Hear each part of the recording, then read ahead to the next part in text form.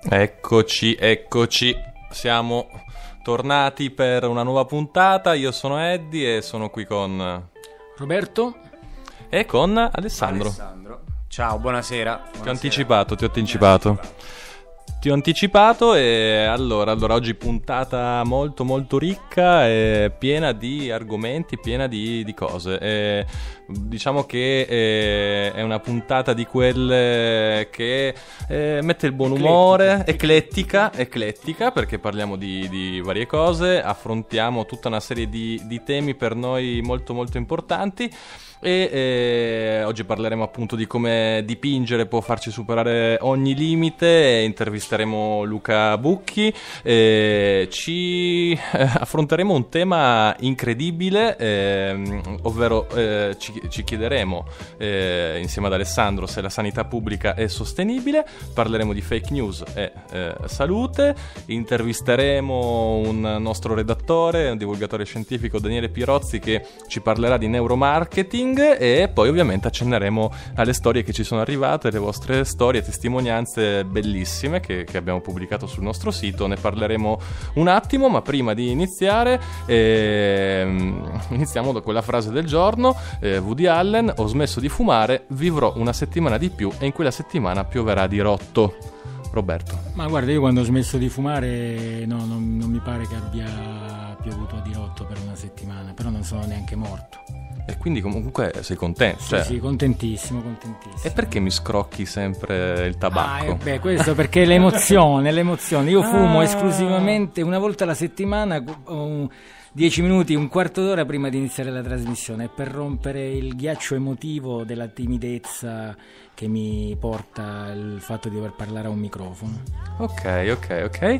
E adesso ancora una pausa musicale e poi Luca, tieniti pronto, stiamo per chiamarti e inizieremo proprio da te e da, da un'esperienza eccezionale, eccezionale. Roberto, se vuoi... Sì, no, infatti mm, per me è un piacere parlarvi e farvi conoscere Luca Bucchi che è un amico, io l'ho conosciuto un paio di anni fa quando per la cooperativa sociale per cui lavoro andai a, a fare l'assistenza domiciliare a Luca eh, in assenza del suo operatore, mh, mm, del suo operatore e ebbi modo di conoscerlo, è un, um, ragazzo straordinario, eh, ha la passione per la pittura e lui dipinge con la bocca in quanto appunto a 19 anni a causa di un incidente eh, finì, cioè oggi è tetraplegico e poi però appunto la storia la racconterà anche lui. E poi con forza di volontà, tenacia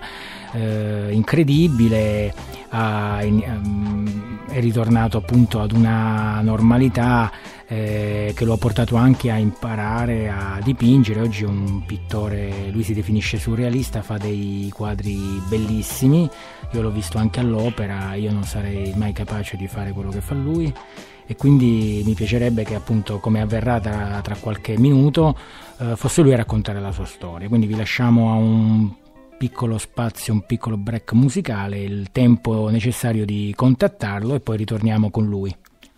Sì, sì, sì, sì, sì, siamo pronti, siamo pronti e, e, possiamo lanciare la nostra sigla. Possiamo lanciare la nostra sigla. Eh, grazie sempre Giovanni per averci fatto questo, questo, pezzo e quindi ufficialmente parte la diretta 9.10, solo 10 minuti di ritardo, siamo ben messi e, e quindi ufficialmente parte adesso. Vai con la sigla.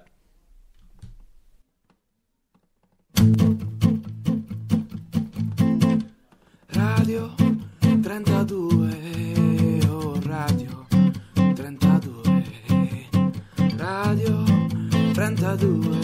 oh, radio 32 radio 32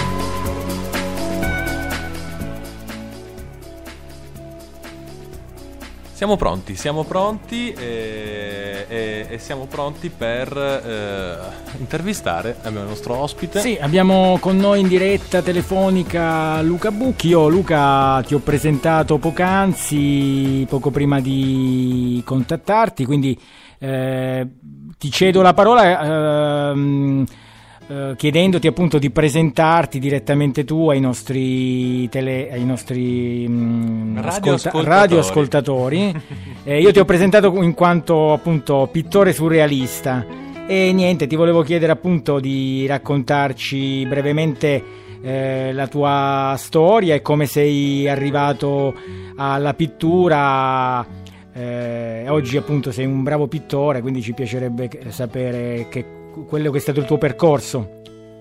Certamente Roberto, innanzitutto saluto tutti quanti i radioascoltatori, eh, vi ringrazio per avermi invitato a descrivere un pochino qual è stato il mio percorso eh, dal mio incidente che probabilmente tu hai- avrai già, eh, del quale tu avrai già parlato, quindi mh, eh, lo ripercorro brevemente, io eh, a 19 anni, o meglio a 18 anni, eh, ho, prestato servizio eh, nella- nei paracautisti della Folgore per la- perché tra le mie passioni c'era, c'è sempre stata quella il culo e, e quindi eh, diciamo fino al, a, a luglio del, del 1985 eh, prestavo servizio appunto a Siena ma dopo un grave incidente che non ha nulla a che vedere con, eh, con, eh, il servizio militare in sé, cioè con, con i lanci o quant'altro, eh, ma un banalissimo tuffo in acque basse ho fratturato la quinta e la sesta vertebra cervicale,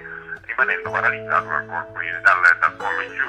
Eh, da lì, al di là del percorso e dell'ospedalizzazione, eh, dei, dei trasferimenti qua e là in giro per l'Italia e all'estero, eh, sono tornato da tetraplegico a Roma e lì, eh, dopo una prima fase iniziale eh, di presa di coscienza di una nuova realtà, che era quella appunto di un uomo normale, o meglio un ragazzo normale che si ritrovava di punto in bianco su una sedia a rotelle, quindi paralizzato poi dal, dal collo in giù, quindi eh, con, con una vita completamente diversa dalla, dalla precedente, eh, ho, ho, eh, dopo qualche anno ehm, diciamo di, di, eh, di- di tentativi, di, eh, di capire quale potesse essere il mio percorso, eh, conobbi mh, per vie traverse, diciamo, una, mh, eh, attraverso diciamo, una, un'amica di famiglia, ehm, un'associazione che è la PMFK, che è un'associazione di pittori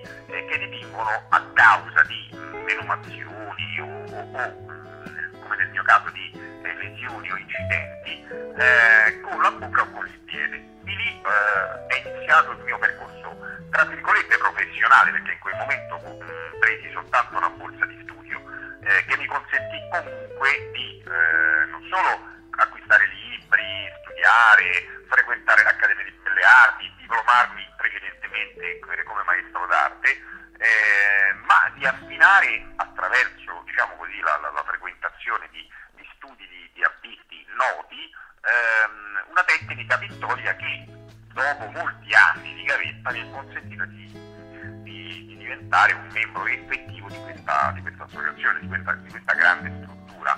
Eh, e eh, mi ha permesso di eh, fare dell'arte una passione della pittura nello specifico un mestiere, eh, una professione che mi permette di, di- di vivere proprio perché eh, mi dà un sostentamento economico eh, attraverso la riproduzione delle mie opere. Questo è in brevissimo il mio percorso, poi se avete delle, delle domande specifiche sono a vostra disposizione.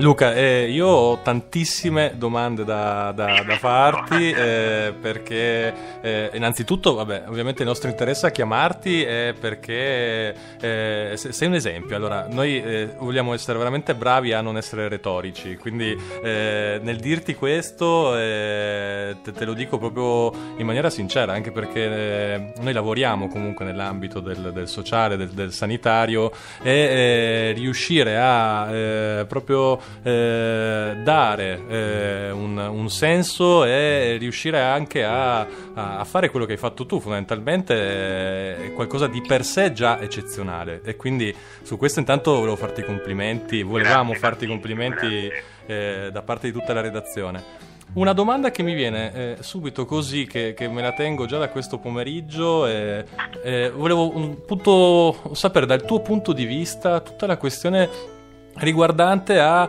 eh, appunto eh, il tema della retorica sulla, sulla, disabilità, ovvero dal tuo punto di vista, barriere architettoniche, l'essere disabile, come, eh, come, come lo vivi e ci sono, non so, determinati luoghi comuni che, che ormai non sopporti più o che comunque ti, eh, ti danno proprio fastidio? Eh, pronto, mi sentite ancora perché ho spinto un tasto non sì, so sì, sì, sì, ci siamo, ci eh, siamo. Sì, perfetto. Guarda, eh, come la vivo? Io, io vivo la disabilità eh, tanto quanto me la fanno vivere gli altri. Mi spiego meglio. Eh, una delle cose che mi dà, mi urta di più i nervi, ma questo eh, l'ho notato eh, essere un atteggiamento tra l'altro trasversale, nel senso delle età, non ha età, è che quando ci troviamo di fronte a un interlocutore, può essere eh, in un ufficio, può essere in un negozio, può essere...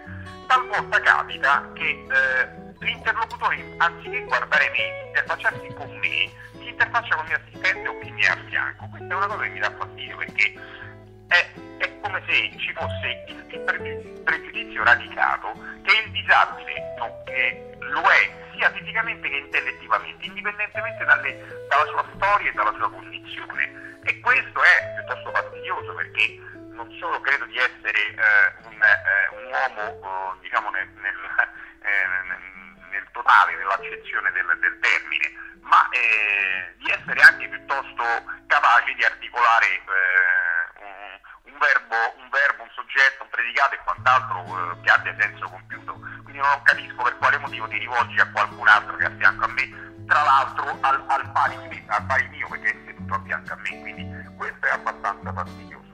E ciò che non sopporto, tra l'altro, è, come posso dire, eh, l'incapacità delle persone di guardarsi attorno e, e lì eh, per, per, esempio ehm, occupare posti per disabili quando la disabilità nemmeno esiste, eh, occupare rampe eh, marce, di marciapiedi, quindi costringendoti a fare percorsi peraltro anche abbastanza pericolosi. Eh, questo che significa? Che le persone non si guardano cioè non hanno gli occhi aperti, non si guardano intorno, vivono nel loro mondo e questo loro mondo esclude tutto il resto. E, e con, con, tutto il resto intendo anche e soprattutto chi eh, vive a un metro e mezzo da terra e, e, e, non, è, non, è, in grado di farsi neanche vedere perché, perché è pazzo il gioco forte. Questa è una delle cose che mi dà più fastidio. Il luogo comune era legato un po' alla, alla, alla, alla parte diciamo, alla prima parte del mio intervento, cioè considerare il disabile che è in carrozzina, che lo è esclusivamente eh, a carattere fisico, una persona eh, meno capace anche eh, intellettivamente. Questo è abbastanza fastidioso, è un pregiudizio piuttosto radicato. No, no, eh, immagino veramente. E rispetto a un, un commento invece su com'è, com'è, vivere la città. Oddio, eh, qui, eh, la, città, la città adesso eh, diciamo che io la vivo dal, dal, dall'85, quindi parliamo di, di, di, 32 anni fa e di miglioramenti ce ne sono stati eh, parecchi. Quello che è mancato è una sorta di educazione civica del cittadino, ma lì eh, torniamo al discorso che facevamo poco fa che non ha nulla a che vedere con quella che è un'istituzione eh, quale può essere la scuola, anche se ho visto anche lì fare passi importanti. Quindi si tratta di sensibilizzare piuttosto le famiglie, far vedere ai ragazzi che eh, esiste anche l'altro, esiste anche quello tra virgolette diverso. Poi nella città io noto un degrado che chiaramente eh, colpisce a 360 gradi, quindi anche tutta quella parte relativa a, a coloro che hanno delle difficoltà motorie eh, e, e rendendo loro eh, diciamo, la vita piuttosto difficile, eh, oltre, oltre quello che lo è già. Insomma, ecco, questo sì, questo noto un degrado importante. Luca, adesso lanciamo un po' di musica e poi torniamo in studio e parliamo un po' appunto della, de- della tua professione, del tuo lavoro, della, della tua passione e, e continuiamo questa chiacchierata molto molto bella. Va benissimo.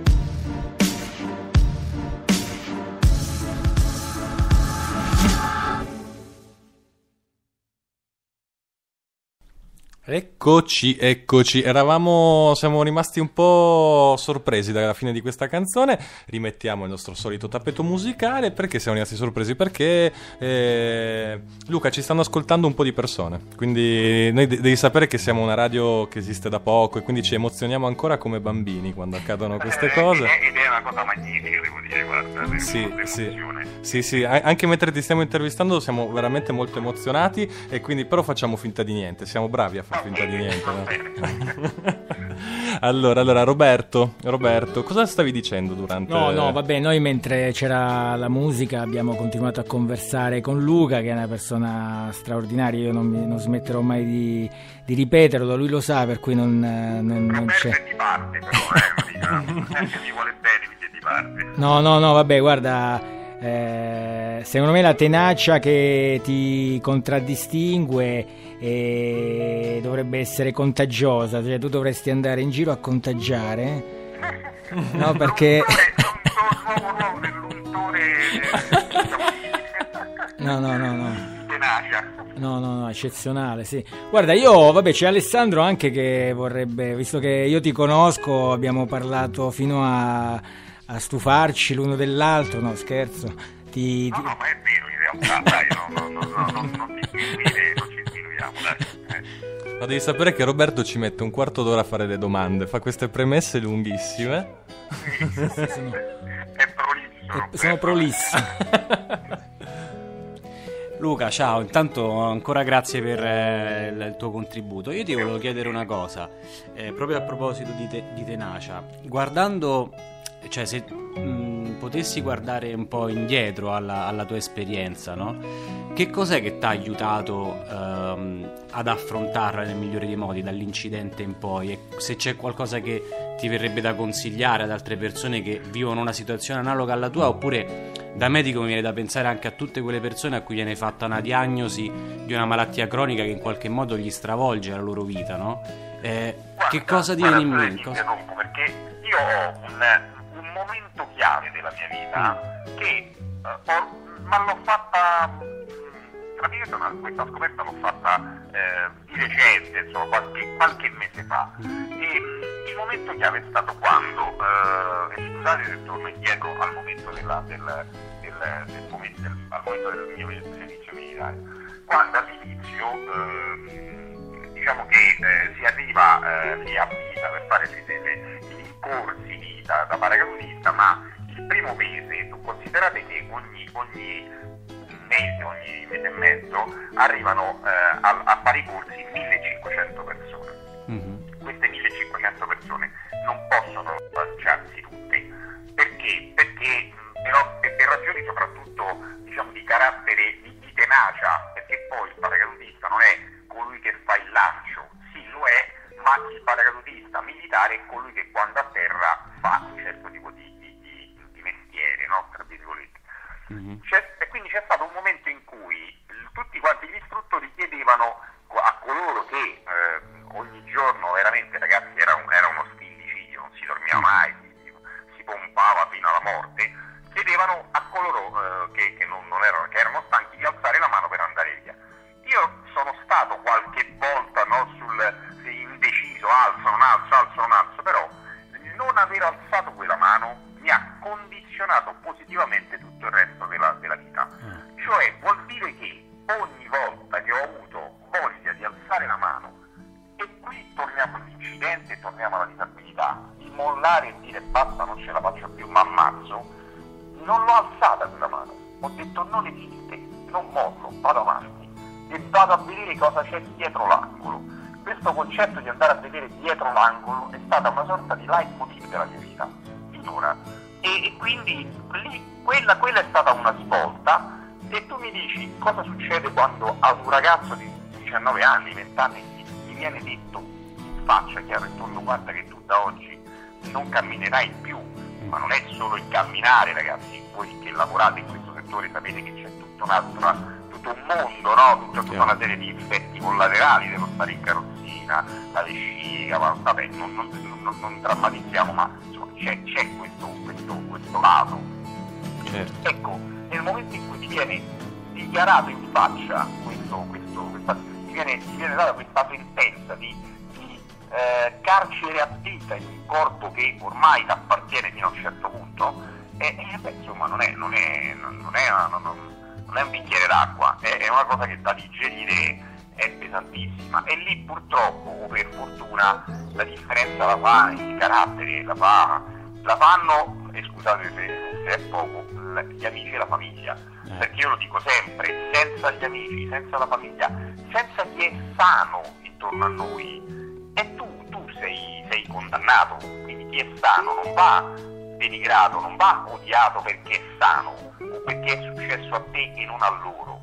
È una risorsa il sano per te, perché comunque ti dà la possibilità di andare avanti e di vivere una vita non buona, se tu vuoi anche buonissima. Ecco, questo è, questo è quello che, che è accaduto a me, cioè la presa di coscienza di questa realtà, vista con occhi eh, forse da- da- più esterni che non dal, dal- dal mio corpo, no, tra virgolette. Ecco. Pronto? Eccoci, eccoci. Guarda Luca, allora io vorrei tornare al presente e tornare alla tua grande passione eh, per la pittura oltre che per il volo. Ehm, anzi, tra l'altro colgo l'occasione della diretta per ricordarti che mi devi fare assolutamente la, la simulazione di volo. Perché? No? Ma io preferirei portarti Eh, lo so, infatti... Ah, ah, eh, beh, Ragazzi, però- questo è uso privatistico Ah, ecco, no, no, di, vabbè, mezzo, vabbè, vabbè. di mezzo comunque Non- privato, però. Allora, no, invece parliamo, ritorniamo a parlare di pittura. Eh, tu, vabbè, ti definisci un pittore surrealista. poi io in questi giorni su, sono andato a, vedere, ho, ho postato sulla nostra pagina Facebook eh, un paio di, di- di immagini che ti ritraggono mentre stai dipingendo. E no, volevo chiederti, tra l'altro, una cosa che- di cui abbiamo anche parlato eh, tempo fa. Ehm, cioè, tu eh, ti, defi- cioè, ti definisci un pittore surrealista e, e spesso mi hai detto che quando dipingi, logicamente per te dipingere è liberatorio. E una volta mi hai detto che è come, fa- è come fare psic- cioè una, una- una seduta di, ana- di psicanalisi. psicoanalisi, ma lo confermo, lo confermo lo confermerò per sempre. Tant'è che io aggiungo, eh, oltre a questo, eh, eh, dire, la speranza che, che i miei dipinti non vengano capiti. Perché? Perché poi nel momento in cui porto sulla tela quelle che sono emozioni e mm, eh, raramente sono emozioni positive, spesso eh, un po' alla Dorian Gray io porto sulla tela quello che odio, quello che odio di me, quello che, che- che mi fa bene tirar fuori come una sorta di, scusate il termine, bubone, no?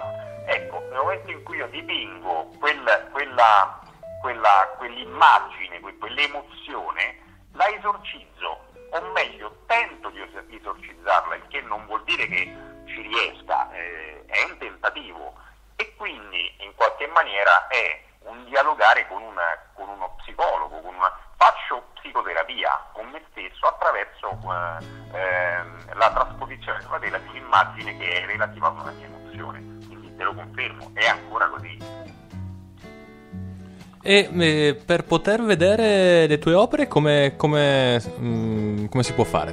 Allora, guarda, mh, parte delle mie opere eh, si possono trovare eh, sul sito della Ability Art. E, diciamo che un vero e proprio catalogo non esiste. Perché? Perché mh, io mh, in tanti qui magari riesco a spiegare un pochino il meccanismo della nostra associazione. L'associazione peraltro gestita, creata, eh, amministrata eh, al 100% da artisti disabili. Eh, vorrei vorrei chiarirla questa posizione perché altrimenti rischiamo di fare confusioni. E, e noi, noi artisti cosa facciamo? Considerate che siamo 800, più di 800 pittori in tutto il mondo con editori sparsi eh, in tutti i continenti. Cosa facciamo? Eh, creiamo le nostre opere, poi nell'arco dell'anno, diciamo normalmente è un'unica spedizione, mandiamo gli originali eh, alla sede che è il, il Liechtenstein. La sede cosa fa? Eh, riceve tutte le opere, le eh, valuta tutte quante, dal dall'ultimo borsista entrato ieri fino al, al più, al più anziano dei professionisti eh, che, che è lì da, da- da- da 40 anni, le valuta e decide la una commissione artistica formata da eh, pittori eh, della- del comitato direttivo, da ehm, artisti noti, da critici d'arte che noi selezioniamo di volta in volta, valutano la riproducibilità delle opere chiaramente ce ne sono alcune destinate ad esempio a, a cartoline e calendari, no? non so, il paesaggio, piuttosto che la, la natura morta, piuttosto che il natalizio, altre destinate magari a ehm, mostre in tutto il mondo, eh, l'agenda o le carte da gioco, l'ombrello, le- le- so, le cover di telefonini. Quindi loro cosa fanno? Selezionano le opere, norma tra i 1500 e 1600 opere eh, selezionate su, su- su- sui migliaia di quadri eh, che, di dipinti originali che arrivano ogni, ogni anno. Queste, eh, queste- questa selezione viene fotografata e spedita sotto forma di CD o DVD a ogni editore nel, nel mondo. Poi l'editore cosa fa? le analizza e decide benissimo io oggi eh, cioè quest'anno userò due opere di Luca Bucchi cinque opere di Simona Azzori sette opere di Jant e quant'altro ne fa l'utilizzo che, che ritiene eh, diciamo, eh, eh, diciamo utile eh, ovviamente sempre vagliato no, dalla, da- dalla casa madre cioè da noi fatto da noi artisti. E con quel prodotto eh, riprodotto sui vari, sui vari diciamo, media eh, e quindi il ricavato della vendita di quel prodotto viene, viene, viene diciamo, eh, elargita una royalty a tutti gli artisti che poi sono stati scelti eh, in fase di, di- di programmazione. Ecco, questo è il meccanismo con cui, eh, diciamo, noi, con cui noi sopravviviamo, tra virgolette. E quindi le mie opere, eh, per ovvie ragioni pratiche, sono tutte in associazione e vanno in giro per il mondo. C'è stata una mostra finita paio di mesi fa eh, a Milano, eh, molto importante, ce n'è stata un'altra precedente in Australia, l'anno scorso c'è stato il 60 anniversario dell'associazione in Spagna, a Barcellona, quindi le opere, moltissime opere hanno esposte lì, quindi io non ho originali per ovvie ragioni proprio di carattere eh, squisitamente pratico, perché non ha senso che io me le tenga, farne che, eh, preferisco che girino nel mondo. Di vederle, ecco, su Ability Art, che è il nostro sito, del sito dell'editore italiano, qualcosina c'è, ma non c'è tutto, cioè, questo è chiaro. E quindi, quindi grazie mille per, per aver ricordato questa realtà così, così fan- cioè, buona, cioè, che permette veramente di, eh, di- di esprimere e di guadagnare dal proprio lavoro. eh, Esatto. Quindi, no, complimenti veramente. Grazie, grazie. Sì, ehm, è stato molto bello risentirti. Eh, penso che anche chi ci ha ascoltato ha avuto modo di eh, verificare quanto, quanto io prima di, di questa intervista, di questa bella chiacchierata avevo anticipato. Sei una persona straordinaria, ci piacerebbe riaverti qui con noi. Eh, a vostra disposizione perché queste realtà, Roberto lo dico agli altri, Roberto lo sa, io sono eh, assolutamente a favore realtà, eh, ma piccole o grandi, ovviamente piccole, se, se c'è un- un, eh, la possibilità di supportarle anche meglio, perché più siamo a parlare, più voce si dà a, a tutti. E, e più è facile, e l'altro giorno con Roberto discutivamo un attimo, è una cosa velocissima, sul concetto di Don Quixote e sul concetto di, di combattere fino, fino alla morte qualsiasi, eh, qualsiasi entità di togliere voce, soprattutto ai deboli. Lo sa, io, io sono pronto, arma in re, eh, lancia in resta e andiamo. Fantastico Luca, eh, no, no, questo è proprio l'approccio giusto eh, e quindi ti, ti chiameremo ancora, ti chiameremo ancora anche perché eh, puoi essere veramente un osservatore privilegiato della realtà, proprio anche per le tue capacità artistiche, secondo me puoi, puoi cogliere degli aspetti che, che molto molto interessanti. Va benissimo, a vostra disposizione. Grazie mille ok, Luca. Ciao, ciao, grazie, buonanotte, ciao, ciao. A presto, ciao. I know what you are, my friend. And where you're going to, I see the light in you. Whispered out into the gloom. It changes, it changes the heart of everyone. It changes, it changes the heart of everyone. Oh, oh, oh, oh, oh, oh. oh.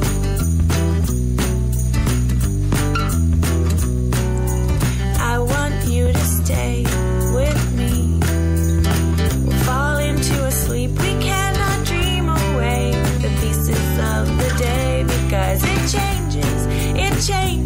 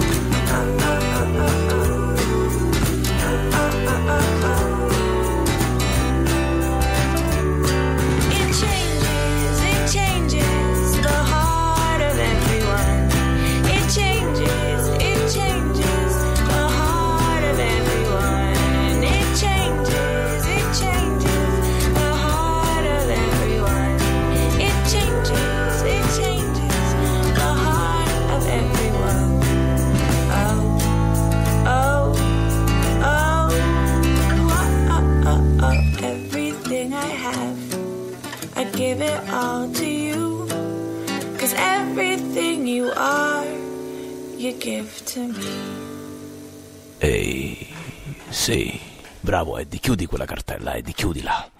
Chiudila, ti prego. Non ho le tac, non ho le tac per curarmi, non ho le tac, non ho le tac, no, non ho le tac per curarmi, non ho le tac. Non so cosa dirti perché tu, oh medico, sai tante più cose di me. Non ho le tac, no, non ho le tac.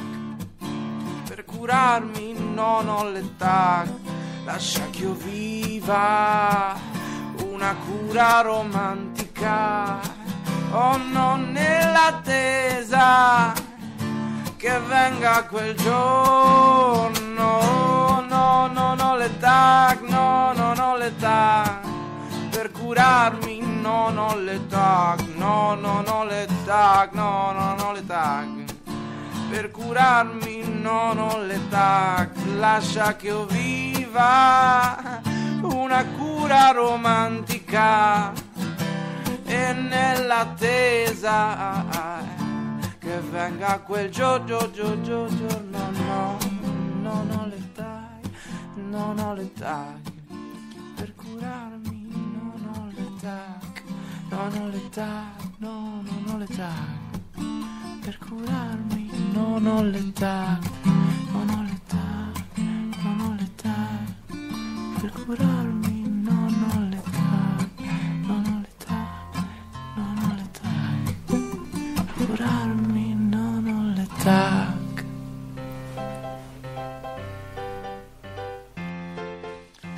Allora, questa era Non ho le tac eh, Giovanni Narducci e- ed è un po' per cominciare a entrare in clima sanitario, in sanità. quindi è la nostra canzone un po' per entrare nel clima, sempre con il nostro tono scherzoso. Ehm, abbiamo appena intervistato Luca Bucchi, abbiamo parlato appunto della sua storia incredibile che ovviamente vi riproporremo nei prossimi giorni. Eh, siamo ormai stiamo raggiungendo un, un assetto, un assetto perché andiamo in diretta il lunedì sera, saremo in diretta ogni sera il eh, lunedì alle 9. Eh, potete andare direttamente su Radio 32 e spunta il direttone appena ricaricate la pagina alle 21 o altrimenti su Facebook.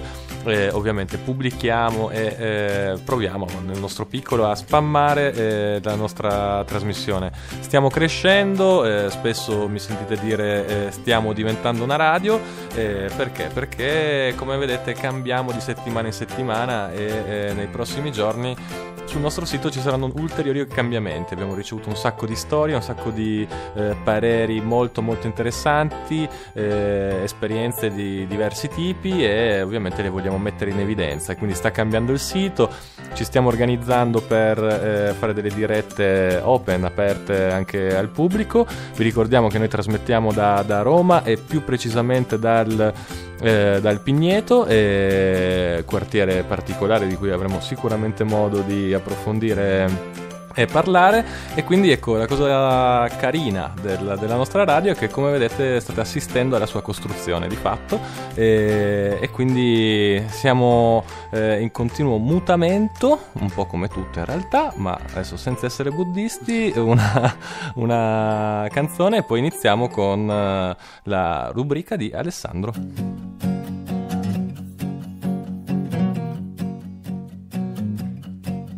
Sono malato, sono disoccupato, forse è un malore, ho il raffreddore, ma io conosco chi mi può dare attenzione. Sento pressione, sì, qui sul petto, sono turbato, ma non è un difetto, ma io conosco chi mi può dare attenzione. Sarò normale, sarò disturbato. Serve una diagnosi o no, serve un dottore. Ma io conosco chi mi può dare attenzione. Oh, mi sento male. Il quirinale, oh no, è il viminale, eh no, mi sento male. Ma io conosco chi mi può dare attenzione. È ipocondria, oh no, forse sarà mia zia. No, no, non penso, è filosofia. E io conosco chi mi può dare attenzione. E serve il Malox, e serve il Trava. L'entero germina e citrosodina. Ma io conosco chi mi può dare attenzione, io conosco chi mi può dare attenzione. Radio 32, oh Radio 32, Radio 32, Radio 32, Radio 32.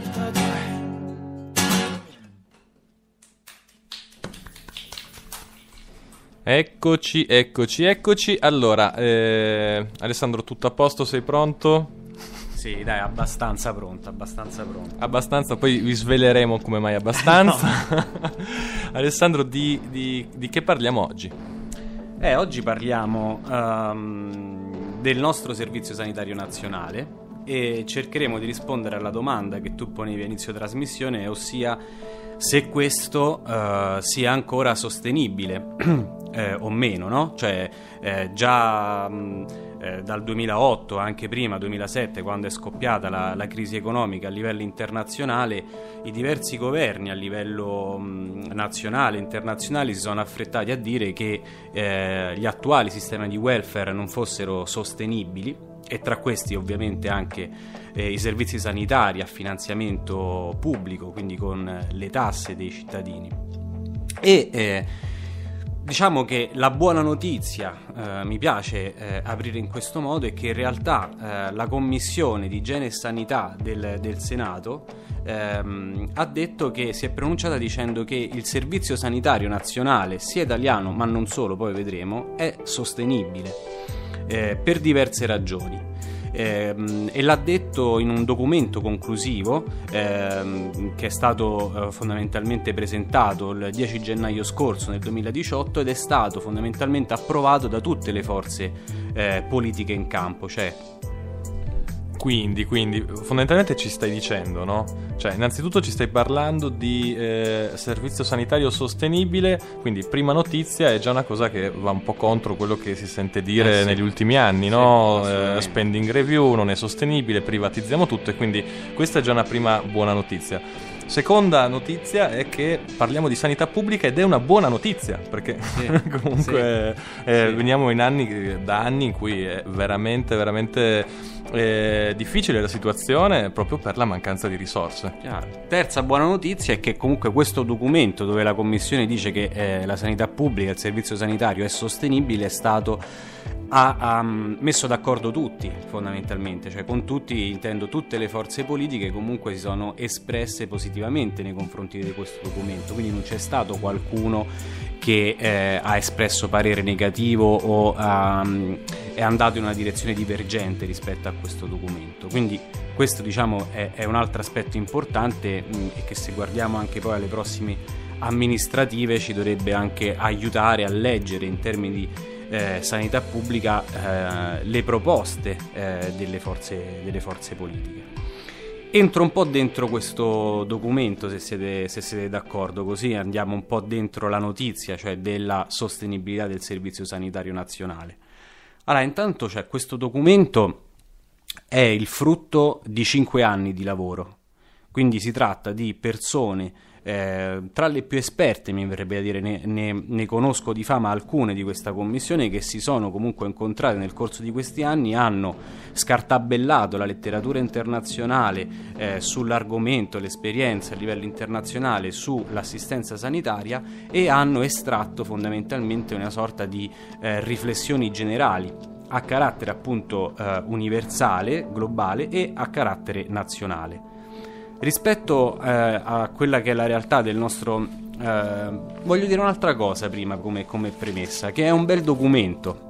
Questa è una cosa che mi ha colpito molto, cioè nel leggerlo sono eh, una sessantina di pagine, eh, mai si avverte la, eh, la sensazione che è un linguaggio troppo tecnico. È molto leggibile questo documento e questo secondo me eh, è, è- è molto positiva come, come aspetto perché eh, secondo me rende eh, questa lettura accessibile sia agli operatori e anche ai cittadini che volessero approfondire la tematica. Ma è anche un po' una qualità anche del, del metodo, della, della- della ricerca che ci sta dietro, perché quando no, si riesce a spiegare in maniera con parole semplici, solitamente è perché c'è una comprensione maggiore, Sì, no? Sì, Quindi- sì, sì. Secondo me denota anche un'attenzione, un'attenzione all'altro, cioè vuol dire che sto scrivendo per farmi capire ehm, da qualcuno, cioè ho in mente eh, un interlocutore. E quindi questa è una cosa che devo dire ho apprezzato molto e che ha anche mh, rinvigorito il mio entusiasmo come medico di sanità pubblica, devo dire, insomma, me la, me la sono sentita un po' calla, come, come si Ma- dice. Allora, io faccio proprio la parte del profano, no? Eh. Cioè quello che, che dice, cioè che vede gli ospedali cadere a pezzi e, e dice: Ma com'è possibile che è sostenibile tutta questa macchina? Perché ormai no, la qualità si raggiunge solo nel privato, no? Cioè, quindi Mm, mm. come, come risponde questo documento? Allora, eh, guarda, io ho in mente di, il documento è molto ampio e articolato, quindi ho in mente di parlarvene eh, in, eh, per linee generali quest'oggi e poi fare degli approfondimenti il prossimo lunedì. Intanto io volevo dire eh, alcune cose, che eh, non solo il servizio sanitario è sostenibile, ma produce ancora oggi degli effetti molto positivi, cioè ehm, fortunatamente ehm, l'aspettativa in- eh, di vita in Italia, i livelli di salute in Italia sono tra i migliori eh, in Europa e nel mondo stante una riduzione eh, dei livelli di spesa sanitaria eh, tra i più elevati invece in Europa, cioè quindi nonostante abbiamo un servizio sanitario eh, tra i meno costosi a livello mondiale e a livello europeo, anche quello che produce i risultati migliori. Con due però, mi verrebbe da dire, due però eh, importanti rispetto alla sostenibilità sulle quali eh, mi voglio concentrare oggi. Uno è legato fondamentalmente al tema eh, degli operatori sanitari e, e un po' forse ci riagganciamo anche al tema del burnout di cui abbiamo parlato la, la scorsa volta. E poi c'è un altro tema che riguarda eh, le persone, ehm, e quindi gli utenti, i pazienti, che purtroppo non hanno ricevuto un'assistenza e a- proprio a causa di questi tagli eh, alla spesa sanitaria. Quindi ecco, ehm, vi vorrei parlare di questi due grandi aspetti, eh, magari ritornati da, da una pausa musicale, non so di se eh, è il caso vai, oppure... vai subito col primo. Vado subito col primo. Allora, eh, il, il primo, eh, il primo effetto preoccupante di tagli ehm, alla spesa sanitaria, comunque a tutte le politiche di contenimento dei costi del Servizio Sanitario Nazionale rispetto alla eh, dimensione nostra, nazionale italiana, è stato soprattutto il blocco del turnover e eh, la mancata eh, regolamentazione dei eh, precari fondamentalmente. Eh, quindi questo sta producendo eh, degli effetti sul nostro sistema. In che modo? Beh, soprattutto le persone che lavorano nei servizi iniziano ad avere un'età media sempre più ehm, elevata. Eh, per darvi alcuni dati, per esempio, l'età media dei medici eh, impiegati nei servizi è di 54 anni. Ehm, quindi, insomma, c'è eh, una una- una- un'età media molto elevata. Parlavo con eh, un mio amico e collega più grande di me, eh, eh, prossimo alla pensione, che mi ha detto proprio questo. Dice: Guarda, Alessandro, io ho proprio la sensazione che eh, andato in pensione io, comunque la nostra generazione di sessantenni, è come se eh, chiudessimo le porte del servizio sanitario e andati via noi eh, si chiude un po' tutta quanta la baracca, fondamentalmente. Quindi ecco, c'è questo primo. Effetto negativo eh, dei tagli che non è magari visi- visibile eh, da, da parte dei pazienti no? perché comunque noi vediamo nei servizi il medico, gli infermieri eh, gli operatori sociali, sanitari eccetera e tuttavia eh, la commissione proprio, il documento della commissione parla di un lento logoramento, cioè proprio un virgolettato della, della commissione eh, che appunto non sono degli effetti drastici, cioè che dall'oggi al domani non c'è più il servizio sanitario, tuttavia portando dei tagli al personale sanitario, riducendo il turnover, non regolamentando le eh, posizioni fondamentalmente a tempo determinato, si sta verificando questo, questo fenomeno. ecco. Con degli effetti sulla salute degli operatori stessi, un po' come diciamo l'altra volta, e, e questo è un aspetto di cui eh, vi dirò a breve. Mentre, mentre, mentre, quindi diciamo che quello che viene fuori anche da, da- da questo documento è il fatto che il sistema sanitario è, è sostenibile perché produce salute, perché previene una serie, cioè questa è una domanda che ti faccio così a bruciapelo.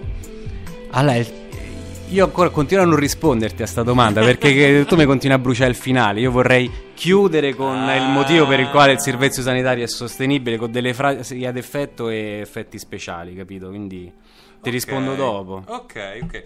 Allora ci lasci così con, con la colina in bocca e quindi adesso un pezzo musicale e poi eh, capiamo appunto, eh, approfondiamo meglio questo tema e eh, nel frattempo, nel frattempo dico anche Daniele preparati, Daniele preparati, so che ci stai ascoltando e quindi fra un po', fra un po' iniziamo e- e perché dopo parleremo anche di, eh, di fake news e, e- e sanità. E sanità. C'è stato uno studio del Censis, è venuto fuori appunto il fatto che eh, internet sta diventando una delle fonti principali di informazioni eh, di, di tipo medico e, spesso c'è chi su questo ci lucra e non informa, ma appunto adesso una pausa musicale e poi rientriamo sempre con Alessandro.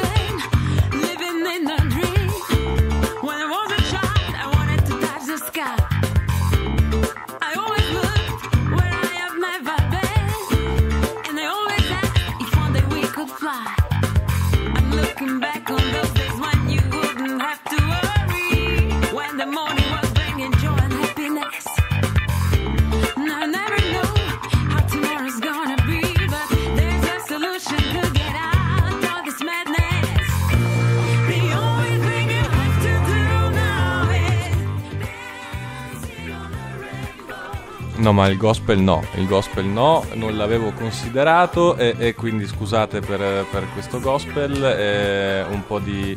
eh, cambiamo un attimo genere. I am Eula. I'm nobody's bitch. You are mine. I don't need to know you. You only need to know me. That's right. I will be the one. See, these days, I just want to be the one that motivates. I just want to feel like when you hear my music, you can relate to what I, what I'm going through and how I'm feeling. Speak the message. And these days, that type of idol is needed. My circle dispersed and I've done searching. It seems it's hard to trust a nigga these days. They tryna say I'm not worth it. They put a curse on my dreams. They tryna crush a nigga these days.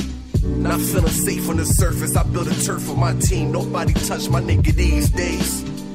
I won't release till it's perfect, so you should know that I work as I'm trying to rush a nigga these days. And these days, my second sight it ignites when it sees futures. My vision's blurred when observing it early. You seen Looper when they know the words, cause they heard us a team booster. We deserve the merge, and your lane is urgent. My team moves you. We on the verge to emerging, it seems smoother these days. I brought the herd, I preferred if you leave sooner. Seeing it's absurd how I burned the team ruler. He a certain serpent, he's so searching. It seemed cooler. Finally, he can handle my own. See, I don't need nobody. My pride is full. Can you concur? I finna be somebody. My intellect is set on. Can I balance the bracket? Immaculate, it just so happens I silence the racket. On the horizon to defiance, your timing is lacking. If not complying, I'm a tyrant. You'll find out what happened when you disrespecting the set. See, y'all makes me the most when the track is heavily playing and you think you flame it, you don't. My circle dispersing, I'm done searching. It seems it's hard to trust a nigga these days. They tryna say I'm not worth it. They put a curse on my dreams. They tryna crush a nigga these days. Not feeling safe on the surface. I built a turf for my team. Nobody touch my nigga these days. I won't release till it's perfect, so you should know that I work as I'm trying to rush a nigga these days. As for me in my house, I'm not bothering about what men may say. I'm not bothering about what you have to say. I'm not bothering about your opinions. I'm living in the actual conscious presence of God in the earth plane. You see, I know where God is. He's in my hands. He's in my feet. He's in. I decide my fate. I just wanna teach, not be the best. Trying to give them time for their mind to wait. I just want the love, I don't need the rest. Say I just want it all for my Ava. These days, give it all for my Ava. Me being more raw for my Ava. And I'm trying to evolve for my Ava. He ain't even about me no more. Facts, lately I feel I won't live up to my cost, but I gotta cut it all out. It can't be perfect, but it's thought out. How I wanna give it a whirl. But I'm more worried than eager. Focus on me doing my best, so I can never worry either. Rieccoci, rieccoci in studio. eh, allora, Alessandro, eh, vai. Vado, ok. Quindi il riassunto delle puntate precedenti abbiamo un servizio sanitario nazionale che nonostante le politiche di contenimento dei costi assicura un buon livello di salute della popolazione e tuttavia appunto abbiamo parlato del problema del turnover degli operatori e un altro eh, problema di cui vi accennavo prima è eh, la rinuncia eh, da parte dei, dei cittadini all'assistenza. Che cosa vuol dire? Vuol dire che proprio a causa eh, del contenimento dei costi legati al servizio sanitario nazionale, eh, dati Istat del 2014 ci dicono che circa 5 milioni di italiani hanno rinunciato in questo periodo di tempo a eh, almeno una visita specialistica o a trattamenti terapeutici pur avendone bisogno. Parliamo quindi di circa un cittadino su 10 rinuncia a, a delle visite mediche eh, specialistiche o comunque a trattamenti eh, terapeutici. E l'aspetto ehm, comunque importante da sottolineare è che ovviamente la rinuncia va sempre a seguire un gradiente sociale, cioè chi rinuncia di più sono le persone con un reddito eh, più basso fondamentalmente, mentre invece questo fenomeno non è stato registrato nelle fasce di reddito più, eh, più elevate. Quindi questo comunque è un dato, cioè se andiamo a valutare i nostri sistemi sanitari mh, in ottica di equità eh, abbiamo eh, circa 5 milioni di persone che rinunciano a eh, curarsi. Questi secondo me i due aspetti eh, principali da sottolineare almeno nella puntata di oggi eh, del documento sulla Commissione Igiene e Sanità. E adesso arrivo a rispondere alla tua domanda, Eddie, spero, eh?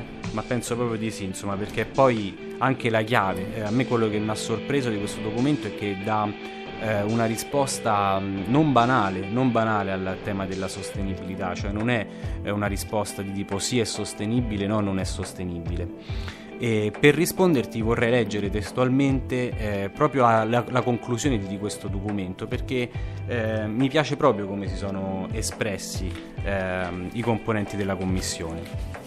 Quindi vado, vado alla lettura, procedo. Allora, loro dicono questo, nella- proprio nella parte conclusiva del documento. Capita frequentemente di imbattersi in affermazioni sulla insostenibilità del nostro sistema sanitario, come se si trattasse di qualcosa di insindacabile, documentato, univoco, che non ha bisogno di alcuna specificazione o argomentazione. Tanto la convinzione è robusta in una parte degli osservatori. Un'affermazione che è quasi un luogo comune, in grado di dare un, di dare un tono di modernità e di rigore a chi la pronuncia.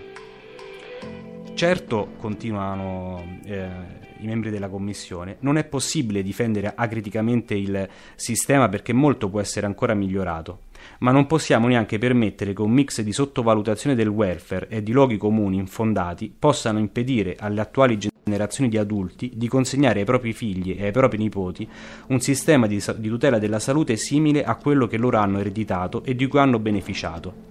Non possiamo permettere che i nostri ospedali vadano in rovina, che gli operatori si arrendano al declino e che le persone più svantaggiate non possono accedere alle cure di cui hanno bisogno. La sanità continua ad essere considerata un settore sul quale effettuare risparmi, mentre dovrebbe essere considerata una formidabile leva per lo sviluppo, non solo per promuovere il benessere e l'uguaglianza fra le persone, ma anche per favorire l'occupazione, la ricerca e l'innovazione. E qua eh, citano la commissione Romanov facendo riferimento all'omonimo ehm, politico canadese eh, Romanov eh, che circa dieci anni fa aveva creato una commissione simile a questa eh, di eh, sani- igiene e sanità pubblica proprio per ehm, eh, valutare la sostenibilità del servizio sanitario canadese. E Romanov alla fine degli studi, un po' come ha fatto questa commissione, afferma questo e qua rispondo alla domanda di Eddie sulla sostenibilità. Romanov afferma non vi è alcun standard su quanto un paese dovrebbe spendere per la salute. La scelta riflette infatti la storia, i valori e la priorità di ciascuno. E poi continua, il sistema è tanto sostenibile quanto noi vogliamo che lo sia. A me sembra una, una frase mh, di un peso specifico eh, non, non di poco conto, cioè qua eh, rilancia la palla alla politica in un certo senso, cioè e anche rispetto al titolo della, della nostra radio, la Gorà della salute, cioè il tema della sanità pubblica non può che eh, non essere anche politico al netto di alcune considerazioni tecniche. E infatti eh, concludono eh, il documento in questo modo. Non si tratta quindi di un problema economico, quello della sostenibilità del servizio sanitario, cioè quante risorse sono necessarie. La sostenibilità del diritto alla salute è prima di tutto un problema culturale e politico. Fino a che punto siamo disposti a salvaguardare i principi fondanti del nostro sistema sanitario nell'interesse della collettività, garantendo a tutti coloro che ne hanno bisogno un'elevata qualità di accesso alle cure e nonostante la crisi economica? Quali cure il nostro sistema può riuscire a garantire nel modo migliore ai cittadini? Una questione di equità e quindi di giudizi di valore prima ancora che di sostenibilità economica. Punto. cioè, ehm, ho voluto leggerla perché magari se io avessi fatto la sintesi di queste cose, dice, vabbè, ma lo dice Alessandro su Radio 32 insieme a Eddie e a Roberto, vabbè, chi se ne importa. Cioè, questa è stata invece eh, parole appunto scritte e lette da, eh, ehm, da un documento che è stato presentato appunto al Senato della Repubblica e sottoscritto da tutte le forze politiche in campo. E mi sembra appunto che eh, nella- nelle note conclusivi eh, smarchi eh, definitivamente il tema della sostenibilità del servizio sanitario da, eh, da il tema della sostenibilità economica, che invece è un ricatto a cui noi siamo stati sottoposti in questi anni. Il documento è il documento conclusivo dell'indagine conoscitiva sulla sostenibilità del Servizio Sanitario Nazionale, con particolare riferimento alla garanzia dei principi di universalità, solidarietà ed equità approvato dalla Commissione. Relatori senatore Luigi D'Ambrosio Lettieri e senatrice Nerina Dirindin. Quindi questo proprio per, per dirvi come eh, questo tipo di eh, relazione è un documento ufficiale e quindi eh, è un documento che va preso sul serio. eh, io penso che è proprio da qui che parte tutto quello che è eh, la discussione che vogliamo fare con, con, eh, Radio 32, ovvero nel momento in cui dici eh, la sostenibilità dipende anche da noi, dipende da, da quello che... eh, Quanto vogliamo che sia sostenibile. Sì, eh, in un certo senso quindi eh, ripassiamo da un concetto di sanità prettamente tecnico, in cui fondamentalmente non, eh, ha un concetto invece di salute, di cura, eh, in cui la collettività ha un ruolo eh, veramente importante perché anche lì la sostenibilità dipende anche dalle scelte, no? Quindi anche su le risorse ovviamente magari sono limitate, ma appunto puntare su, ehm, su una determinata, determinata problematica o su un'altra è una scelta e più questa scelta è, è fatta eh, appunto in maniera anche democratica, no? Più ci si sente insieme nel voler scegliere come, come, eh, gestire questo, questo patrimonio, più eh, ovviamente la stessa collettività risponde meglio anche a- alle varie difficoltà che comunque ci sono. Certo. Poi, appunto, mh, ripeto, anche per un discorso di tempistiche, qua io ho riportato, secondo me, gli aspetti più, eh, come posso dire, eh, principali comunque, cioè ho cercato di portare e condividere con voi il succo.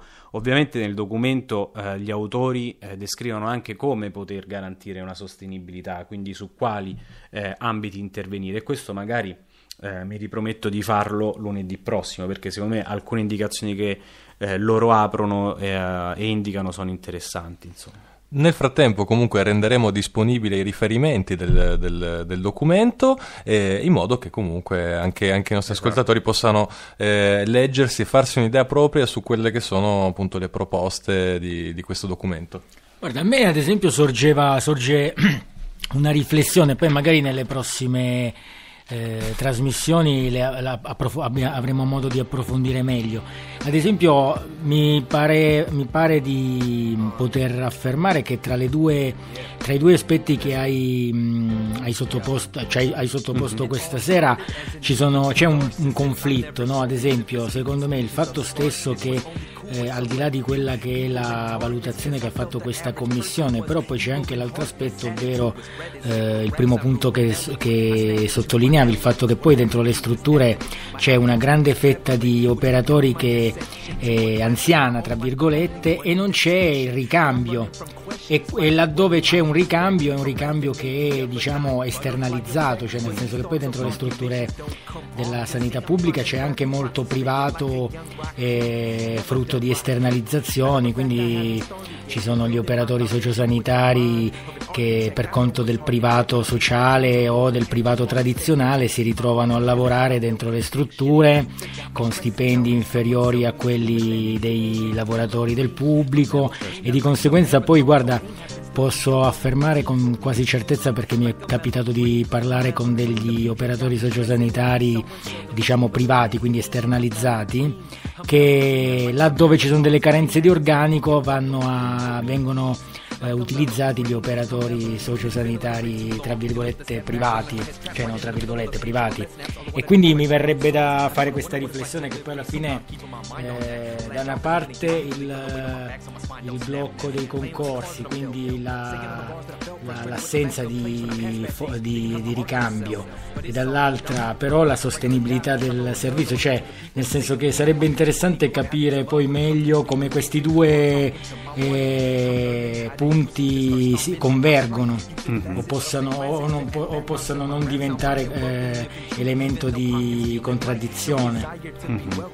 Guarda, eh, per esempio, eh, questo è un tema che eh, viene affrontato nel documento e per esempio rispetto all'esternalizzazione, al bisogno di eh, nuove assunzioni, eh, eh, fat- mh, specificatamente agli infermieri loro dicono che sarebbe necessario assumere circa 15.000 infermieri per esempio, che non sono pochi, e portano anche un altro dato, cioè che a fronte di tutta questa situazione ogni anno circa 2.300 professionisti del settore sanitario, quindi in generale, eh, predispongono dei documenti per poi prestare assistenza all'estero. Quindi c'è sia da una parte il problema del turnover con eh, persone che non vengono assunte e c'è anche una sorta di emigrazione fondamentalmente, cioè di persone comunque preparate in Italia che eh, vengono poi vanno a lavorare in altri, eh, in altri paesi fondamentalmente. Quindi tra gli effetti, tra gli effetti del... ehm, eh, sca- dello scarso turnover, della mancata stabilizzazione o dell'esternalizzazione c'è anche questo, cioè che stiamo perdendo anche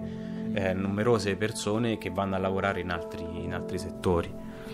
Ehm, e poi secondo me c'è anche un altro tema importante che loro sottolineano e che è legato anche alla qualità del lavoro. Eh, cioè che va eh, prestata particolare attenzione non solo a ok è importante eh, assumere, è importante un ricambio generazionale, ma è importante riflettere anche sulla qualità eh, del lavoro e quindi anche sui posti, i luoghi della cura quindi garantire fondamentalmente una salubrità eh, dei posti dove viene fornita assistenza, sia in termini di sicurezza, ma anche proprio di qualità eh, degli istruttori, anche una qualità organizzativa, cioè adesso c'è anche un problema nei diversi eh, servizi, da quelli ospedalieri a quelli territoriali, che riguarda anche come vengono organizzati i servizi e questo impatta, l'abbiamo visto anche l'altra settimana, sulla qualità della vita degli operatori stessi.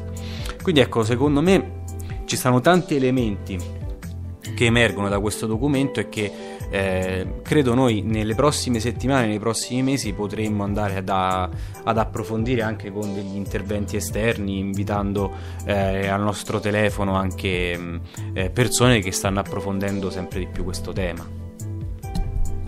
Assolutamente sì, e questo è diciamo solo il primo di tutta una serie di approfondimenti, un antipasto e sarà bello poi andare sempre più a fondo sulla, sulla questione anche perché eh, poi appunto i- mm, il tema è veramente ampio e ad esempio io eh, rispetto alla sostenibilità c'è anche una tematica che mi piacerebbe portare avanti che è quella del welfare mix, no? queste nuove forme di rapporto tra pubblico e privato, ma questo ovviamente in un'altra puntata, eh, perché diciamo si possono creare varie, varie alleanze per riuscire a eh, a garantire eh, il livello, eh, livelli di assistenza e soprattutto una qualità dell'assistenza sempre, sempre più alta.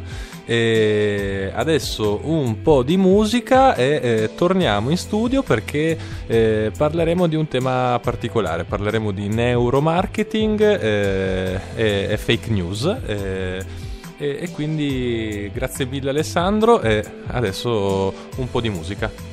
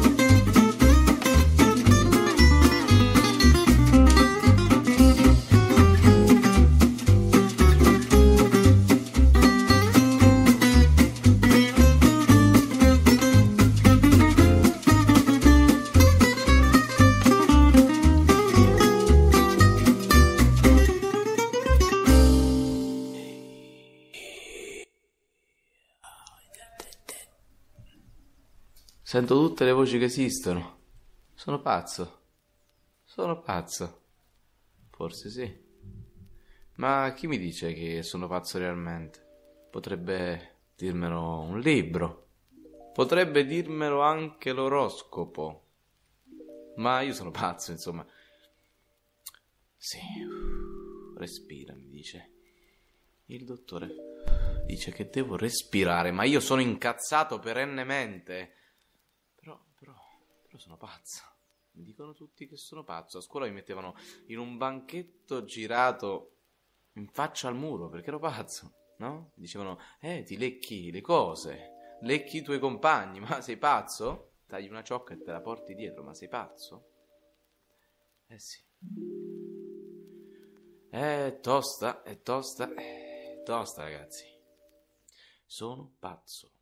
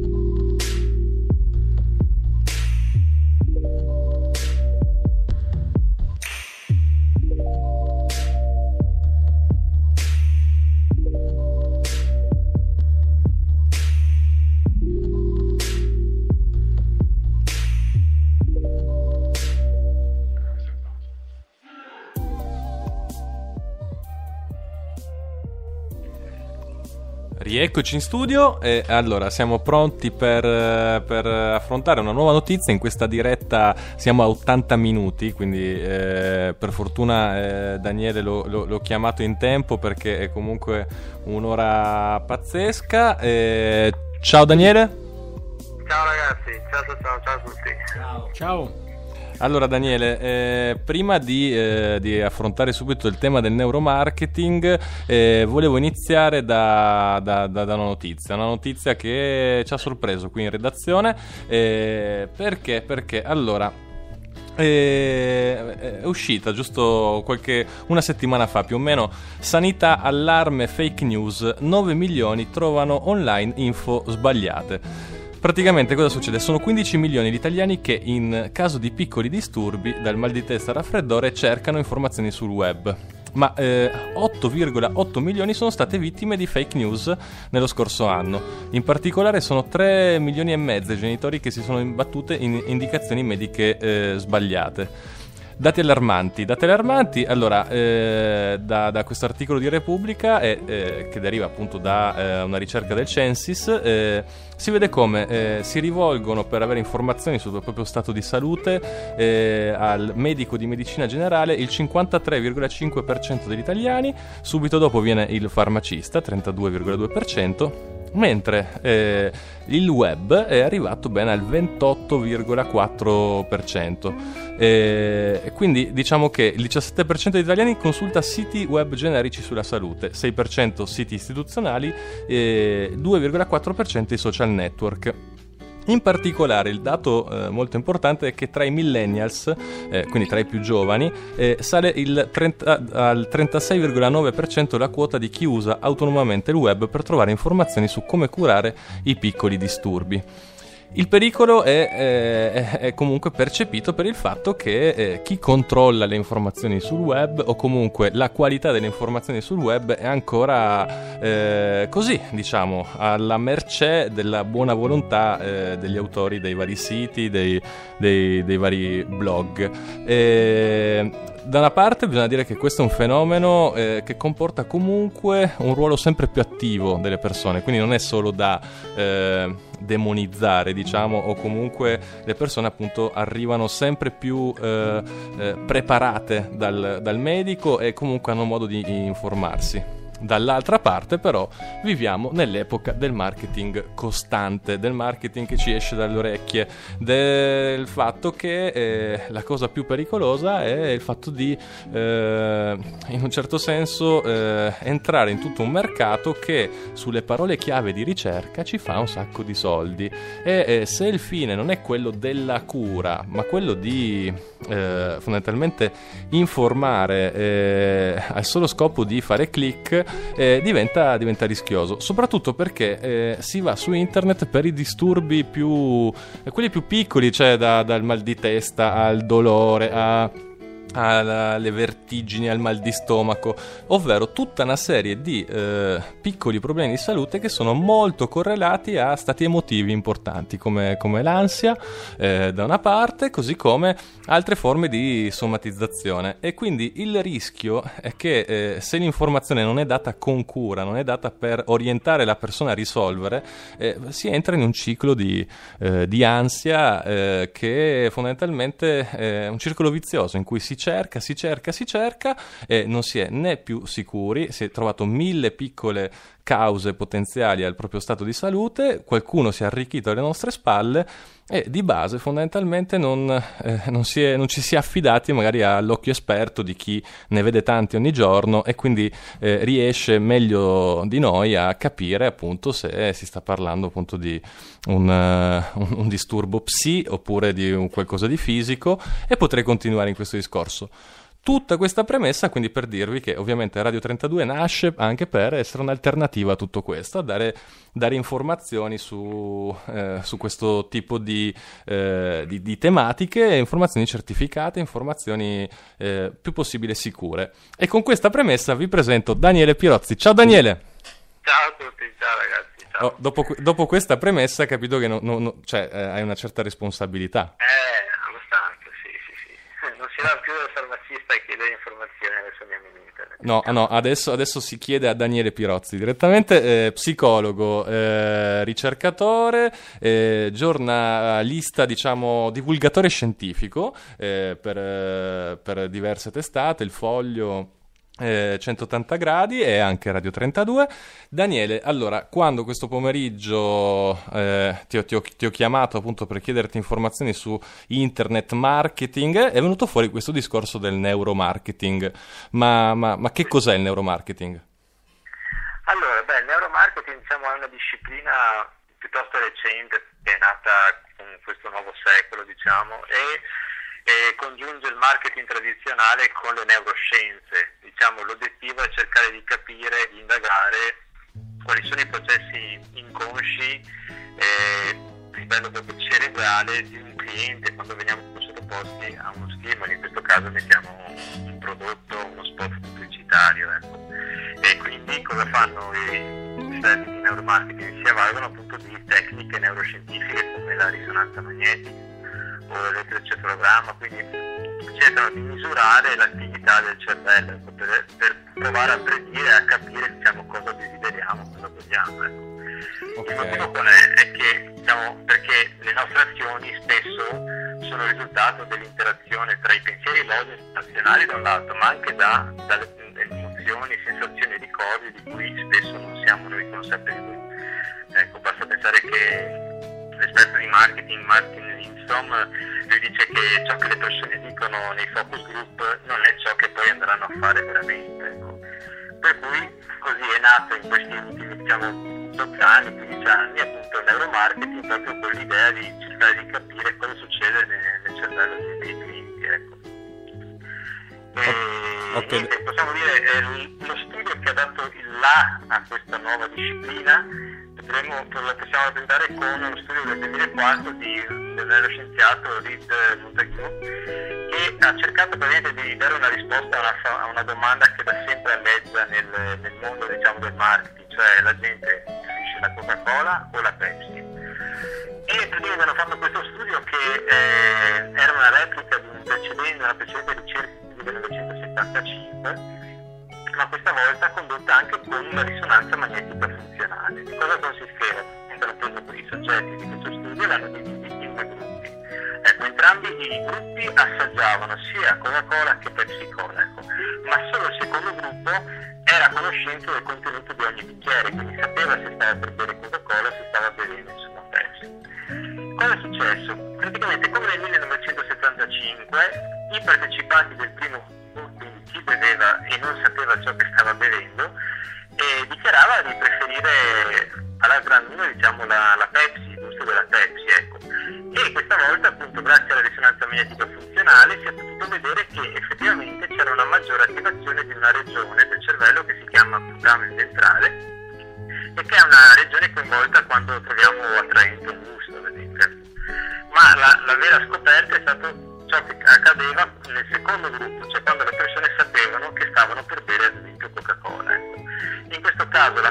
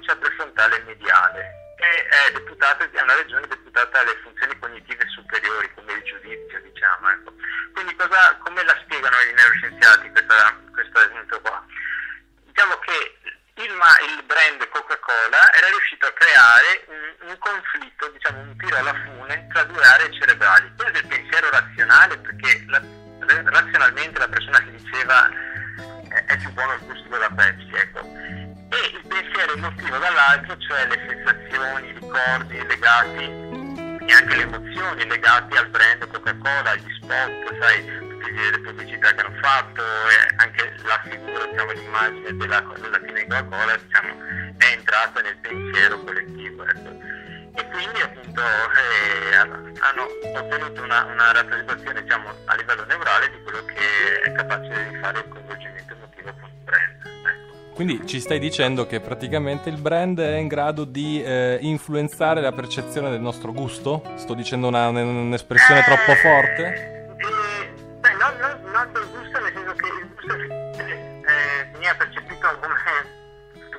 Diciamo quello della Pepsi, però eh, sì, diciamo che comunque si crea una sorta di, di blackout nel cervello, me, e alla fine insomma uno, eh, come dire, prevalevano sì le emozioni, fondamentalmente l'obiettivo eh, de- delle grandi aziende adesso è quello di creare il maggior coinvolgimento emotivo possibile. ecco. Eh, e diciamo poi non è solo le emozioni, anche il contesto multisensoriale, cioè molte ricerche hanno studiato appunto come, proprio come ad esempio il punto vendita, come le, le emozioni e l'esperienza, ecco diciamo che ormai non ti vendono più un prodotto, ma ti vendono un'esperienza. ecco. Ad esempio se pensiamo dal punto di vista proprio sensoriale, si è visto che se c'è congruenza tra il genere al quale i prodotti si rivolgono, ad esempio un negozio di abiti da donna, e il profumo che viene diffuso all'interno, ad esempio una fragranza femminile, e le persone avranno una valutazione più positiva del prodotto.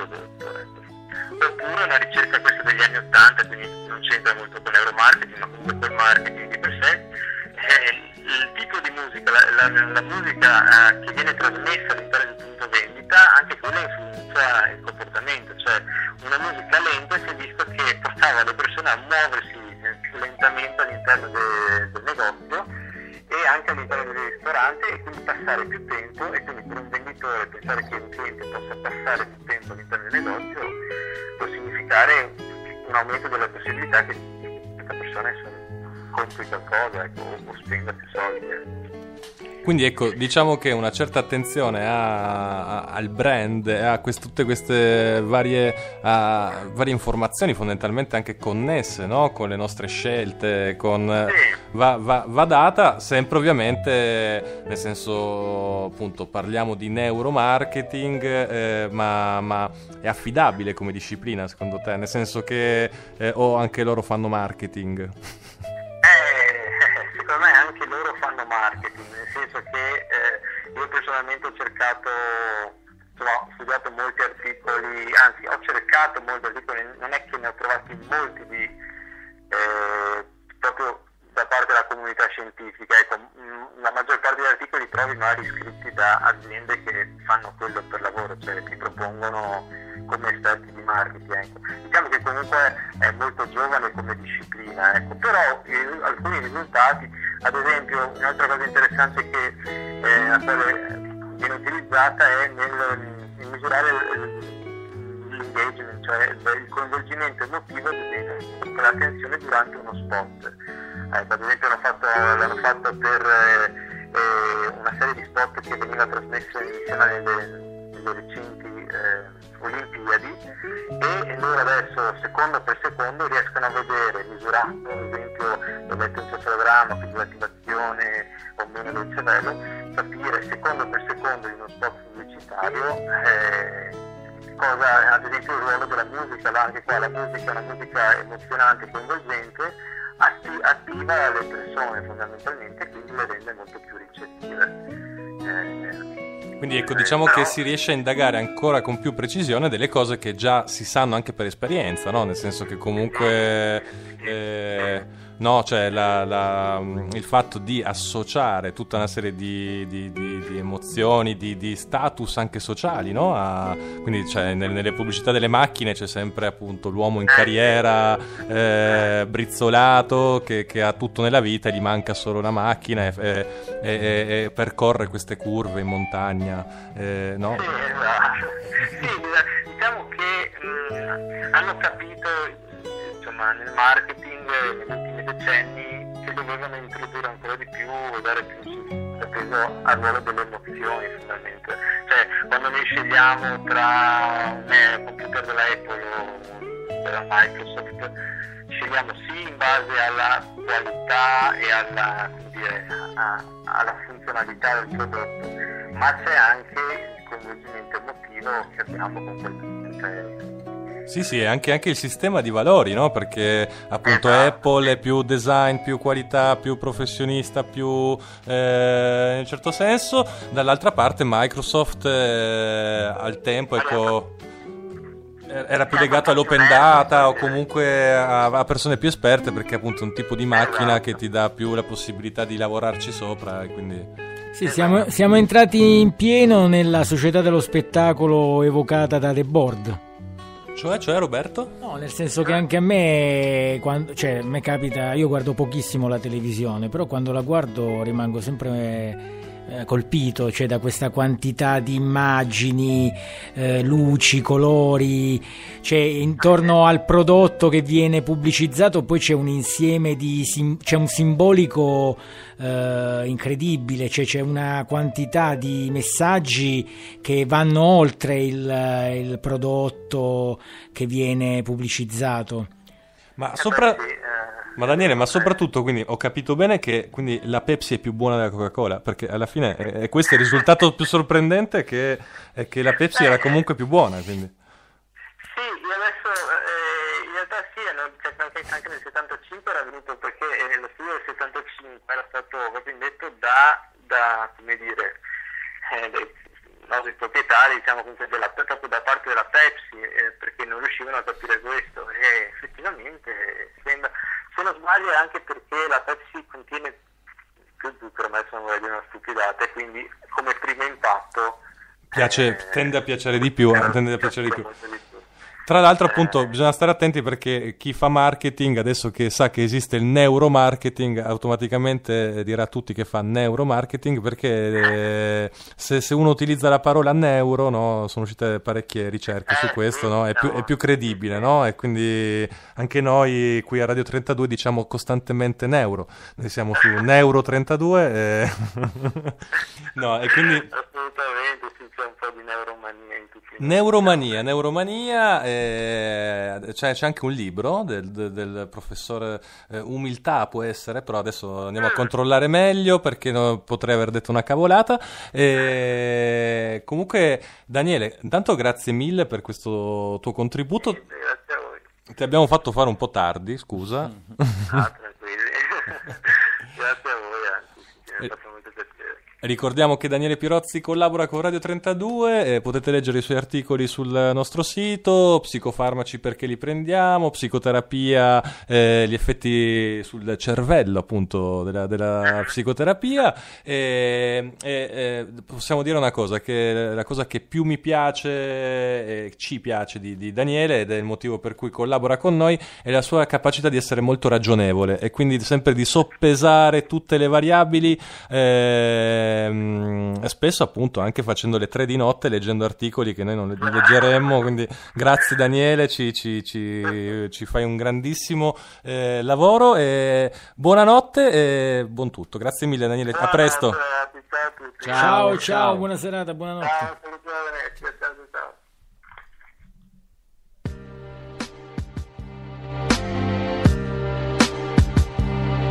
Uh. Yeah.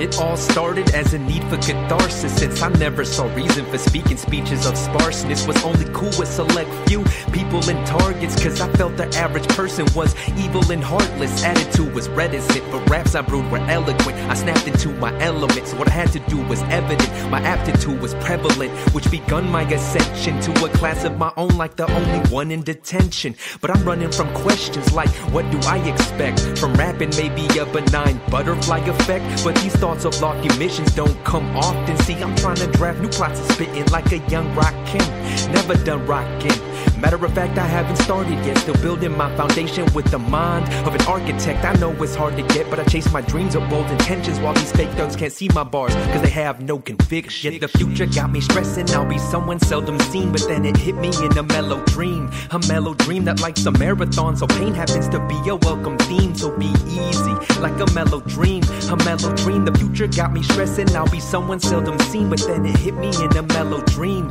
A mellow dream that likes a marathon, so pain happens to be a welcome theme. So be easy, like a mellow dream. A mellow dream. It's been a little bit too long, dealing with the setbacks, feeling like my head's trapped right in, in the middle of the page till the less snaps. All I wanna do is write brand new songs. I don't wanna wonder what it's like to live free, so I'm keeping my mind on that. A bland job isn't gonna give me relief from the weight on my back, so my spine don't snap. Playing with the cards that I'm dealt, dealt. Saying all the bars that I felt, frustrated with the lack of plays when I pass bad days, thinking how's my art gonna sell. But it's all good, I'm rapping for the love. A regular guy, not a trapper or a thug. I relate to the people and say that we're equal. My pain isn't lethal, I'm happy as a mug when it comes to doing music. Or I'm talking to my wife.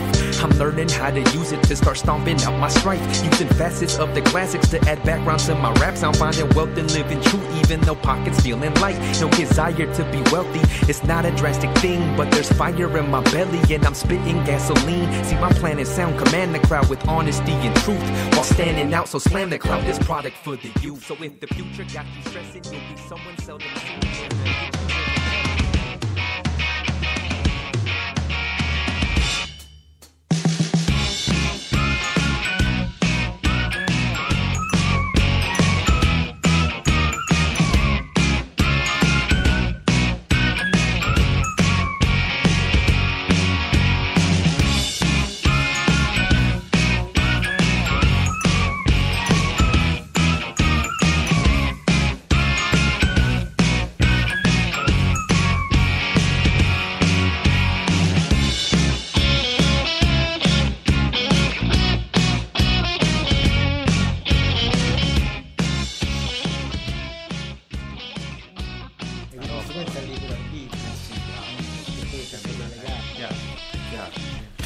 Ha instaurato un sacco di discussioni questo, questo intervento di Daniele, grazie mille Daniele.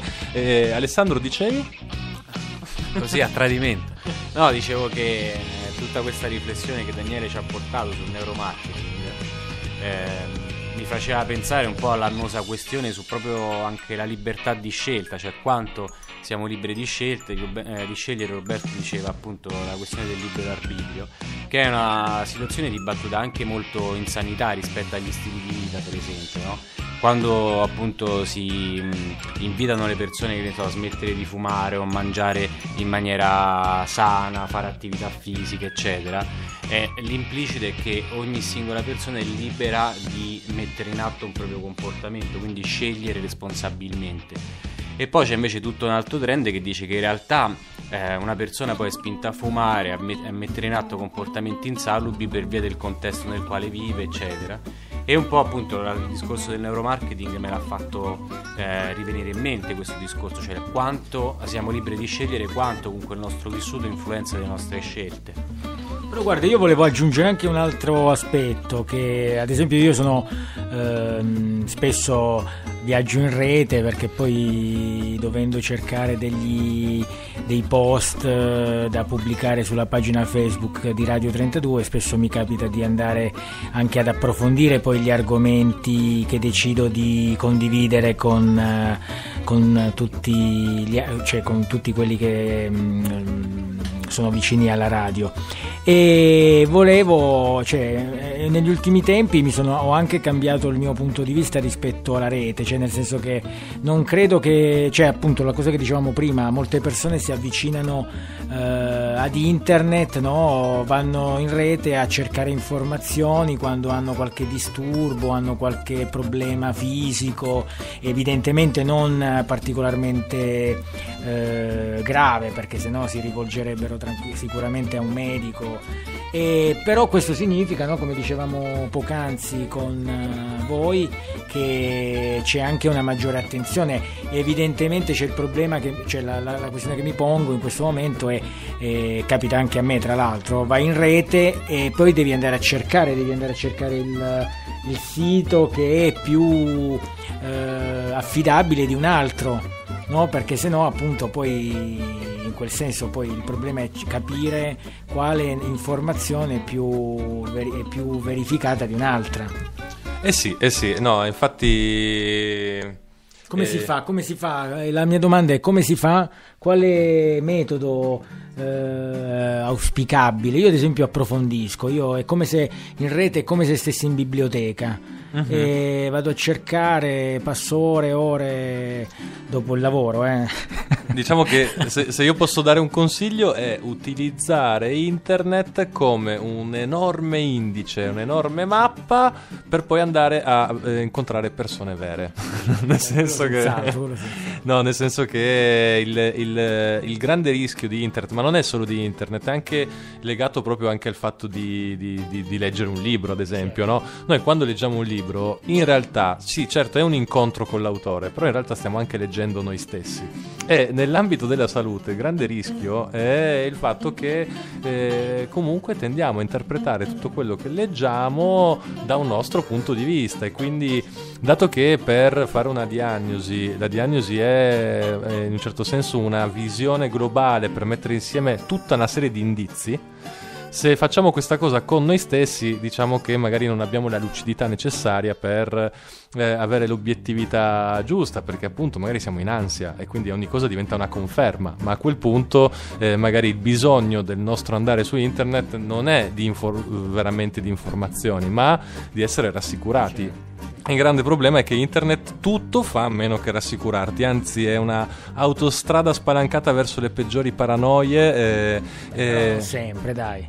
Ma no, no, non sempre, non sempre. Ecco, diciamo, quindi il consiglio è eh, fare caso a qual è l'intenzionalità con cui sto facendo una domanda e quindi una ricerca su internet. Qual è l'intenzionalità? E per intenzionalità eh, uso questo termine appunto facendo riferimento alla fenomenologia, no? Cioè, qual è la, la tonalità emotiva? Quindi ancora perché intenzionalità magari è... Quindi è riuscire a prendersi cura di quella tonalità emotiva ci permette di avere un rapporto ragionevole e razionale con, eh, con, eh, con internet, con i libri, con l'informazione, perché se ci chiudiamo troppo anche appunto su, eh, su internet o su- sui libri, eh, alla fine il problema magari è che tendiamo a interpretare tutto a partire da un presupposto che eh, è assolutamente infalsificabile e quindi automaticamente da lì eh, arriviamo all'ipocondria, no? Eh, ipocondria per cui a un certo punto comunque diffidi sempre, diffidi anche dell'esperto, no? Perché alla fine ti sta mettendo in dubbio un tuo sentire. E ovviamente di questo ne parleremo. eh, Anche perché siamo arrivati a 106 minuti, adesso io non mi ricordo quanto, durano, quanto dura una partita con i tempi supplementari e i rigori. Cen- ecco, quindi abbiamo altri. Abbiamo ancora un No, po' fra, di. un po', fra un po' Spreaker chiude, cioè proprio, cioè proprio chiude e ci saluta la, la nostra piattaforma e, e quindi sì, sì, sì, no, è stata una bella puntata ricca ragazzi, vero? Che, che- che ne dite? Anzi, tra l'altro ricordiamo ai nostri radioascoltatori che se vogliono esprimere un parere, eh, hanno delle domande, delle riflessioni da condividere insieme a noi e insieme a tutti coloro che eh, giornalmente visionano la nostra pagina, sono, sono i benvenuti, quindi se avete delle cose da, da dirci, da consigliarci, benvengano. Sì, sì, ci stanno arrivando un sacco di eh, storie, ci stanno arrivando testimonianze, testimonianze che vengono sia da persone che hanno a che fare con eh, il, il servizio nazionale e si ritrovano magari ad avere difficoltà di accesso alle cure, eh, così come invece operatori che eh, lavorano invece all'interno e raccontano il loro punto di vista, no? Eh, Sì, vabbè, tutto è nato dalla scorsa trasmissione quando Alessandro ci ha portato un contributo molto interessante su- sui medici negli Stati Uniti e in Inghilterra, se non ricordo male, eh, su quanto stanno eh, bene i medici, no? perché noi siamo abituati ad andare dal medico, raccontare i nostri malanni e non pensiamo mai che anche da- dall'altra parte c'è una persona in carne ed ossa che ha i suoi e quindi ne è nata una riflessione, io ho provato a, mm, a sollecitare, a stimolare eh, persone che come me lavorano in particolar modo nel sociale, come operatori sociali e, e beh appunto piano piano ci sono arrivate da tutta Italia delle testimonianze, dei contributi che noi abbiamo pubblicato sul sito. E quindi niente mh, approfitto per eh, invitare chi ci ascolta che, eh, a scrivere, a condividere con noi eh, un punto di vista, un'esperienza, una storia eh, che permetta anche noi a fare poi una riflessione su questo aspetto del burnout che un, ehm, qualcuno chiamava il contagio, inevita- il contagio inevitabile. Sì. Assolutamente sì. Eh, ad esempio, eh, quindi Eh, eh, salutiamo Ernesto, ad esempio, che ci ha scritto, ci ha scritto settimana scorsa, così come anche Teresa. O... Sì, Vincenzo da Torino e Giuseppe da Roma, che sono tutte persone che noi non conosciamo, che però hanno voluto eh, condividere con noi le loro esperienze eh, appunto di, di- di- di burnout eh, vissuto o sfiorato. E eh, fondamentalmente quindi eh, noi quello che faremo sarà eh, provare ad essere megafono per le vostre esperienze, eh, non per eh, urlare, per un urlo fine a se stesso, cui, ma per cercare di ragionare su queste questioni. Sì, diciamo che a noi interessa anche riflettere sulle cause e magari tentare anche insieme eh, di trovare delle soluzioni.